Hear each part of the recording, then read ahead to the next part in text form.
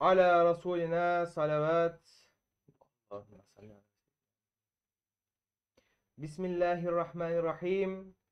Esselatu vesselamu ala Resulina Muhammedin ve ala alihi ve ashabihi ecma'in. Evet, çok kıymetli Nur Vakfı izleyenleri. Bugün inşallah e, yine Ramazan-ı Şerif'te bir akşam dersiyle beraberiz. Bu iftardan önce hocam e, malum Nur Vakfı her akşam ders yapıyordu. Maşallah. E, elhamdülillah YouTube hesaplarında. Fakat Ramazan'da iftardan önce alındı. İnşallah iftardan önce istifadeli bir ders olur. Ramazan'ın faziletini konuşacağız hocam bugün. İnşallah. Rabbimize hamdolsun Ramazan'a eriştik.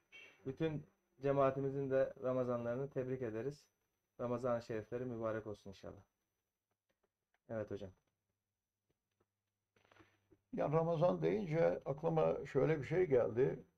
Cenab-ı Hak müminleri bağışlamak, affetmek, onları sevaplara, faziletlere müstaharak kılmak murad ediyor. Bunun için de belli köşe taşları gibi eski tabirle kilometre taşları gibi efendim vesileler koymuş Cenab-ı Hak. Günleri faziletli kılmak, o 24 saati nurani yapmak için namazı farz kılmış. Günümüzü kurtarıyor. Peki hafta? Haftada da cuma bütün haftayı nuraniyete gark ediyor. Peki ay olarak efendim e, orucu koymuş. Senede bir sefer. Bütün seneyi nuraniyete gark ediyor. Ramazan-ı Şerif'in sıyamı efendim hakikaten Ramazan ayı için değil bütün seneyi senenin efendim e, nurudur Ramazan. Peki ömrün şeyi nedir? Kıyamı, kavvamı, onu ayakta tutan ve onu nuraniyete gark eden haçtır. El haccu feridatul umri. Hac ömrün farizasıdır. Böyle Cenab-ı Hak bunları e, efendim kullarını kurtarmak, aman onlar cehenneme gitmesinler, cennetlik olsunlar diye çok çeşitli vesaili koymuş. Şimdi mübarek Ramazan ayına girdik. Efendim onun faziletinden Cenab-ı Hak bütün ümmeti nasibedar eylesin inşallah. Bela ve musibetlerin define de vesile olsun. Yani Ramazan'ın e, evveli rahmettir, ortası efendim mağfirettir, sonu ise cehennemden kurtuluştur. Sahih hadislerde. Ramazanlarla alakalı Resul-i Ekrem Aleyhisselatü Vesselam'ın çok ehadis-i nebeviyesi var. İnşallah Bediüzzaman Hazretleri de Ramazan-ı Şerif'e dairdir diye e, yazmış olduğu bu eser çok harika. Ramazan'ı bir başka yönden yani oruç tutmanın hikmetlerini burada bize açıklıyor. İnşallah buyur. 29. mektup ikinci risale olan ikinci kısım Ramazan-ı Şerif'e dairdir. Birinci kısmın ahirinde şair-i İslamiye'den bir nebze bahsedildiğinden şairin içinde en parlak ve muhteşem olan Ramazan-ı Şerif'e dair olan bu ikinci kısımda bir kısım hikmetleri zikredilecektir. Bu ikinci kısım Ramazan-ı Şerif'in pek çok hikmetlerinden dokuz hikmeti beyan eden dokuz nüktedir. Evet. Bismillahirrahmanirrahim. Şehru Ramazanellezî unzile fîhil Kur'ânu huden linnâsi ve beyinâtin minel huda vel furqan. Yani şu Ramazan ayı ki Kur'an onda nazil oldu. Meseleyi zaten bu çözüyor. Yani biz üç aylar mevsimi dediğimiz efendim Regaib kandili, Berat kandili, Miraç kandili bunların hepsi Ramazan'ı karşılamak içindir. Hatta Ramazan'ın mübarekiyeti Kur'an Ramazan'da nazil olmasına ayettir. Ünzile fihil Kur'an. Nedir Kur'an? Hüden linnâsi. insanlar için hidayet kaynağı, doğru yolu gösteren, efendim, hidayeti bize gösteren, beyan eden, hakla batılın arasını ayıran Kur'an-ı Kerim Ramazan ayında indi. Evet. Birinci nükte, Ramazan-ı Şerif'teki savm, İslamiyet'in erkan-ı hamsesinin birincilerindendir. Ha, İslam'ın beş şartı var. Herkes bunu biliyor elhamdülillah. Yani şehadet getirmek, namaz kılmak, oruç tutmak, zekat vermek, hacca gitmek. İşte e, şeyde e, oruç tutmak da demek İslamiyet'in beş rüknünün birincilerinde. Hem şair-i İslamiye'nin azamlarındandır. Bizi biz yapan, bizi gösteren semboldür, alamettir.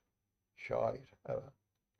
İşte Ramazan-ı Şerif'teki orucun çok hikmetleri hem Cenab-ı Hakk'ın rububiyetine, hem insanın hayatı içtimaiyesine, hem hayatı şahsiyesine, hem nefsin terbiyesine, hem niyam-ı ilahiyenin şükrüne bakar, hikmetleri var. Evet. Cenab-ı Hakk'ın rububiyeti noktasında orucun çok hikmetlerinden bir hikmeti şudur ki, Cenab-ı Hak zemin yüzünü bir sofrayı nimet suretinde halk ettiği ve bütün enva nimeti o sofrada min haythu la yahtesib bir tarzda. Yani ne demek hocam? umulmadık bir tarzda yeryüzünü Cenab-ı Hak nimetlerle döşemiş. Semadan, yerden, dağlardan, nehirlerden, denizlerden nimetler fışkırıyor. Min haythu la yahtesib. Ummadığınız tarzda, um, umulmadık bir tarzda yeryüzünü nimetlerle bir sofra olarak bizim önümüze koymuş. Evet. Min haythu la yahtesib bir tarzda o sofraya dizdiği cihetle kemal-i rububiyetini ve rahmaniyet ve rahimiyetini o vaziyetle ifade ediyor. İnsanlar gaflet perdesi altında ve esbab dairesinde o vaziyetin ifade ettiği hakikati tam göremiyor. Bazen unutuyor. Ramazan-ı Şerif'te ise ehli iman birden muntazam bir ordu hükmüne geçer. Sultan-ı Ezeli'nin ziyafetine davet edilmiş bir surette akşama yakın buyurunuz emrini bekliyorlar gibi bir tavrı ubudiyetkârane göstermeleri o şefkatli ve haşmetli ve külliyetli rahmaniyete karşı vüs'atli ve azametli ve intizamlı bir ubudiyetle mukabele ediyorlar. Acaba böyle ulvi ubudiyete ve şeref-i keramete iştirak etmeyen insanlar insan ismine layık mıdırlar? Çünkü insandan başka mahluk varlıklar bunu hissetmez ve bile- bilemezler. İnsan aklıyla, efendim zekasıyla, fikriyle yeryüzünün bir nimet sofrası. Yani düşünün bu kadar çeşit çeşit nimetler midemin hatırına yatırılmış, ya- yaratılmış sanki. Yani bu kadar nimetleri yaratsaydı da mideyi vermeseydi. Veya aksini düşünelim mideyi verdi de bu nimetleri vermeseydi. Bakın yani bunlar hepsi birbirine bağlı. İnsan için yaratılmış. Bir manava gidiyorsun, çeşit çeşit güzel sebzeler, meyveler hep insanın midesi için yaratılmış. Ama insan gafletle bu hakikati göremediğinden oruç vasıtasıyla senin e, miden boşalacak, karnın acıkacak, nimetin nimet olduğunu ancak o zaman anlarsın. Demek ki akşama yakın buyurunuz efendim bu ilahi sofraya diye yapılan davete icabette insan nimetlerin kıymetini daha çok biliyor. Evet. İkinci nükte, Ramazan-ı Mübarek'in savmı, Cenab-ı Hakk'ın nimetlerinin şükrüne baktığı cihetle çok hikmetlerinden bir hikmeti şudur ki, birinci sözde denildiği gibi, bir padişahın matbahından bir tablacının getirdiği taamlar bir fiyat ister. Tablacıya bahşiş verildiği halde çok kıymetdar olan o nimetleri kıymetsiz zannedip onu inam edeni tanımamak nihayet derecede bir belahet olduğu gibi Cenab-ı Hak hadsiz enva nimetini nevi beşere zemin yüzünde neşretmiş. ona mukabil o nimetlerin fiyatı olarak şükür istiyor. O nimetlerin zahiri esbabı ve ashabı tablacı hükmündedirler. O tablacılara bir fiyat veri o tablacılara bir fiyat veriyoruz. Onlara minnettar oluyoruz. Hatta müstahak olmadıkları pek çok fazla hürmet ve teşekkür ediyoruz. Halbuki mün'imi hakiki o esbaptan hadsiz derecede o nimet vasıtasıyla şükre layıktır. İşte ona teşekkür etmek, o nimetleri doğrudan doğruya ondan bilmek, o nimetlerin kıymetini takdir etmek ve o nimetlere kendi ihtiyacını hissetmek de olur. Bu hakikaten üzerine çok tefekkür, tezekkür, teemmül edilecek, ince ince düşünülmesi lazım gelen bir nokta. Birinci sözde de bu efendim güzelce anlatılıyor ve güzel bir misal veriyor. Padişah sana bir tabla yiyecek gönderiyor. Envai çeşit. Padişah gönderiyor. Kim getiriyor? Garson getiriyor. Şimdi sen garsona bahşiş verebilirsin. Fakat padişahı unutup da bütün şükranı e, efendim o tablacıya, o garsona yapmak ahmaklığın ta kendisidir. Şimdi biz de yani zahiri sebepler nedir? Ağaç vasıtasıyla, toprak vasıtasıyla, hava vasıtasıyla, onlar tablacıya. Bize bazı nimetler geliniyor.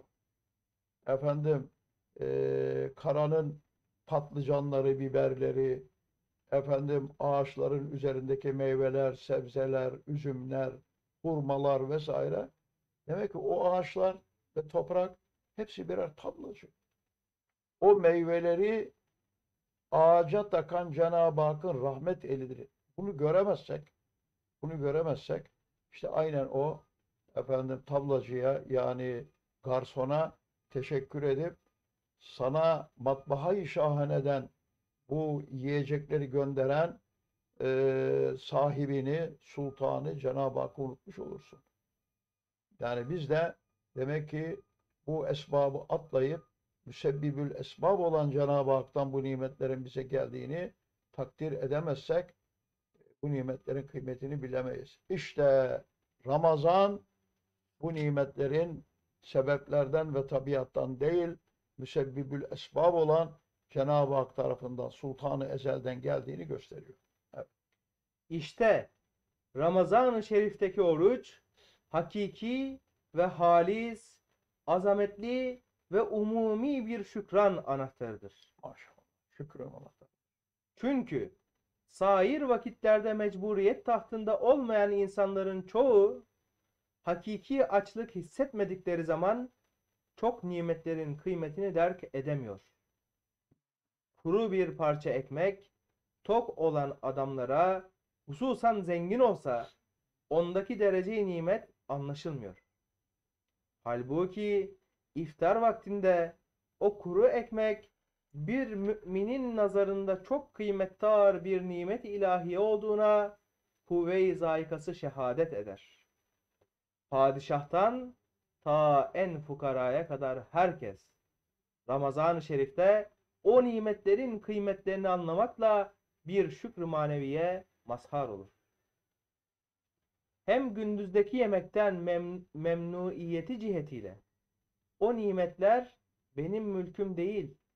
Ben bunların tenavülünde hür değilim. Demek başkasının malıdır ve inamıdır. Onun emrini bekliyorum diye nimeti nimet bilir, bir şükrü manevi eder. İşte bu suretle oruç çok cihetlerle hakiki vazife-i insaniye olan şükrün anahtarı hükmüne geçer. Yani iftar sofrasında beklerken çeşit çeşit nimetler önümüzde ama insan ne elini bir yiyeceğe ne de suya uzatamıyor. Neden? Bu bize şöyle bir manayı anlatıyor. Bu, bu nimetler benim mülküm değil. O mülkün sahibi başkasıdır. Onun izni olmadan ben elimi uzatamam. Onun izni ancak efendim iftarla beraber başlar diye insan bu e, Malikül Mülk, Zülcelal'in mülkünde olan her şeyi tenavül yani onu alıp yemek benim haddim değil. Ne zaman izin verdi? Gündüz yasak. Efendim akşam ezanı ile beraber sana o helal oluyor. Yani insan helal olan bir şeyi terk ederse haramları zaten terk eder. Oruç bunu öğretiyor. Üçüncü nükte. Oruç, hayat-ı içtimai insaniyeye baktığı cihetle çok hikmetlerinden bir hikmeti şudur ki. İnsanlar maişet cihetinde muhtelif bir surette halk edilmişler. Cenab-ı Hak o ihtilafa binaen zenginleri fukaraların muavenetine davet ediyor. Halbuki zenginler fukaranın acınacak acı hallerini ve açlıklarını oruçtaki açlıkla tam hissedebilirler. Eğer oruç olmazsa nefisperest çok zenginler bulunabilir ki açlık ve fakirlik ne kadar elim ve onlar şefkate ne kadar muhtaç olduğunu idrak edemez. Yani bir fakir, zengin aç kaldığı zaman açları düşünebilir. Susuz kaldığı zaman susuz olanları düşünebilir. Yoksa bir eli yağda bir eli balda olup zen- ola- olan zenginler fakir fukaranın ne çektiğini nereden bilecekler? Oruç fakirlerin, fukaranın acı, acınacak hallerini zenginlere ne yapıyor? Öğretiyor. Bu cihette insaniyetteki hem cinsine şefkat ise şükrü hakikinin bir esasıdır. Hangi fert olursa olsun kendinden bir cihette daha fakiri bulabilir. Ona karşı şefkate mükelleftir. Eğer nefsine açlık çektirmek mecburiyeti olmazsa şefkat vasıtasıyla muavenete mükellef olduğu ihsanı ve yardımı yapamaz. Yapsa da tam olamaz. Çünkü hakiki o haleti kendi nefsinde hissetmiyor. Yani insan diyebilir ya ben zengin değilim, zenginler çok. Hayır öyle değil. Herkes kendinden bir derece aşağı olanları, fakirleri bilebilir ve onlara yardım etmekle mükelleftir. Bu harika bir şey. Bu Bediüzzaman'a e, has bir ifade tarzı. Evet. Dördüncü nükte. Ramazan-ı Şerif'teki oruç, nefsin terbiyesine baktığı cihetindeki çok hikmetlerinden bir hikmeti şudur ki, nefis kendini hür ve serbest ister ve öyle telakki eder. Hatta mevhum bir rububiyet ve keyfe ma yeşâ hareketi fıtri olarak arzu eder. Herkesin nefsi böyle. Hiç kimsenin nefsi Müslüman değil.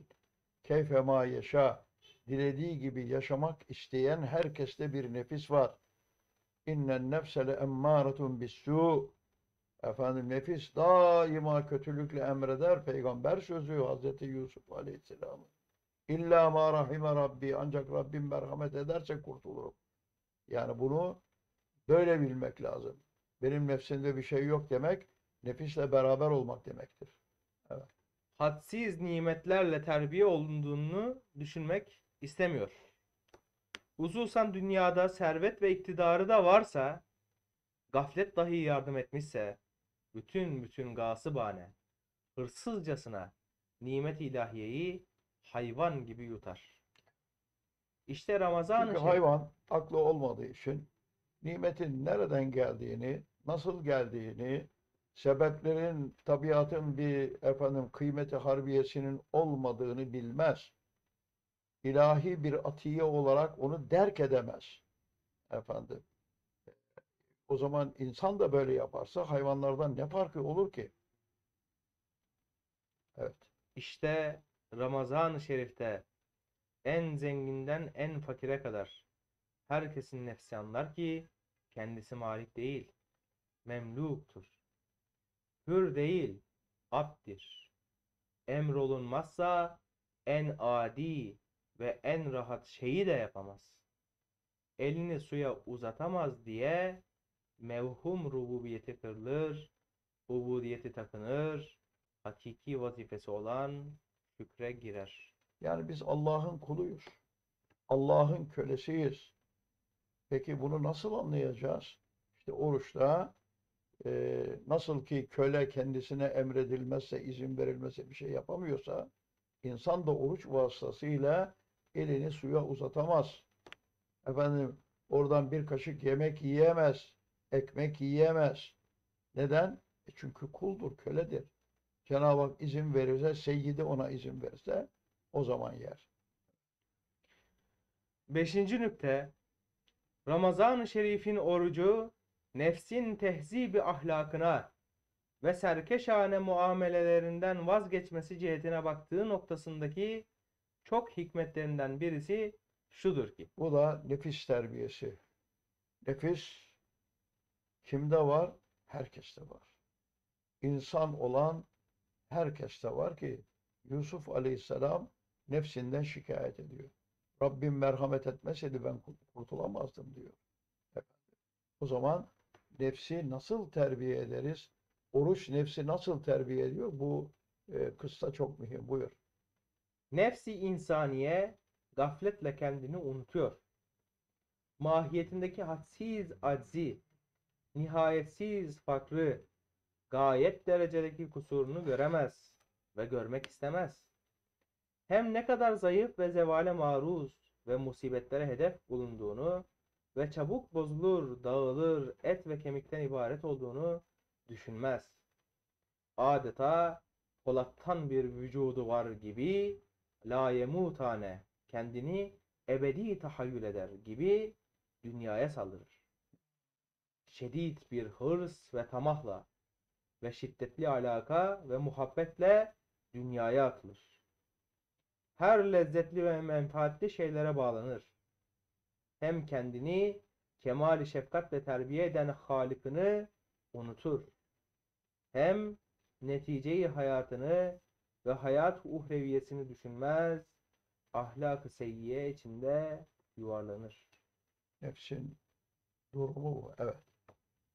İşte Ramazan-ı Şerif'teki oruç en gafillere ve mütemerritlere zaafını ve aczini ve fakrını ihsas ediyor. Açlık vasıtasıyla midesini düşünüyor, midesindeki ihtiyacını anlar. Zayıf vücudu ne derece çürük olduğunu hatırlıyor.